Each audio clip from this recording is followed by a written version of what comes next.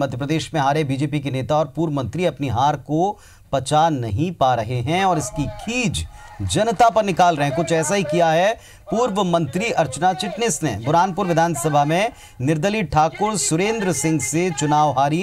पूर्व मंत्री अर्चना चिटनिस का गुस्सा सार्वजनिक मंच पर देखने को मिला। चिटनिस ने आभार सभा का आयोजन किया था, जहाँ उन्होंने खुले तौर पर धमकी भरे लहजे में कहा, जिन्होंने मुझे वोट नहीं दिया, उनको रुला नहीं दिया तो मेरा नाम अर्चना चिटनिस नहीं ये बात सुनकर सभा में मौजूद लोग भी सन्न रह गए। वहीं अर्चना चिटनिस ने उनके खिलाफ काम करने वाले बीजेपी नेताओं को ललकारा। कि जिन्होंने मुझे वोट दिए हैं, उनका सर नीचे नहीं झुकेगा।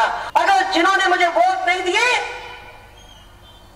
उनको उनको अगर रुला न दिया तो मेरा नाम अर्चना चिटनिस है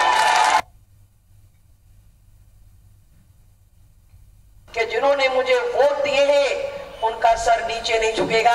अगर जिन्होंने मुझे वोट नहीं दिए, उनको उनको अगर रुला न दिया